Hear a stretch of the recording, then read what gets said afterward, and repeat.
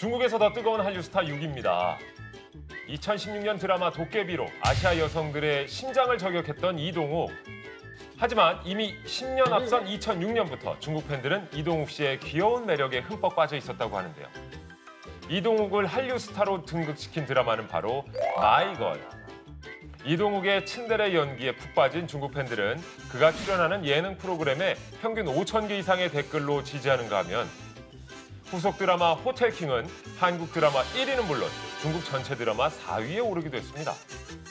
행사가 중단될 정도로 인산인해의 팬들을 몰고 다니는 대세 배우 이동욱 씨가 중국에서 더 뜨거운 한류 스타 6위에 올랐습니다.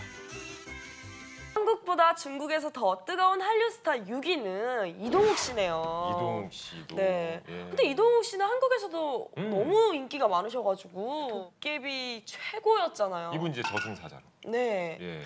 진짜 재밌었어요. 대단합니다. 근데 이동욱 씨가 중국에서 사랑받기 시작한 게 2005년에 드라마 마이걸이라는 작품 덕분이라고 합니다. 마이걸 어떤 드라마였죠? 이게 이제 이다혜 씨 나오고 네. 예 기억이 좀 가물가물하실 텐데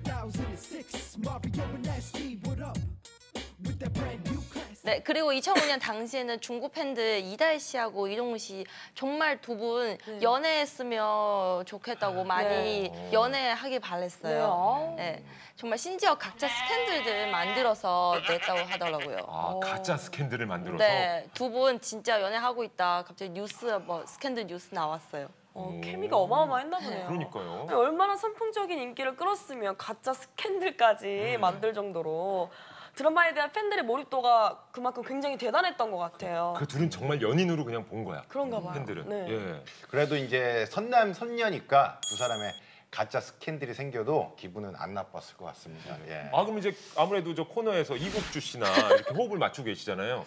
저희도 가짜 스캔들 한번 내볼까요? 성- 어떻습니까? 이, 이국주 씨가 중국에서 좀 인기가 있는 걸로 알아요. 있어요. 제가 알기로는. 늑지, 예. 늑지. 그거. 어, 그러면은 늑지. 이국주 씨와 함께라면은 이국주 씨 예, 등에 업고 가는 거예요 중국 진출 어떻습니까? 제가요? 제가 예. 업혀야 되지 않을까요? 아닌가? 예. 제가 업, 업혀서 예. 중불리 가겠습니다. 준분리로 다시 예. 한번. 아, 감수 생겼어. 아, 국주한테 전화해야지. 씨 아. 끝나자마자 전화해야지. 네. 중불리. 어 야망 있어요. 네. 예, 이상준 씨. 네. 차이나는 즐거움 중화 TV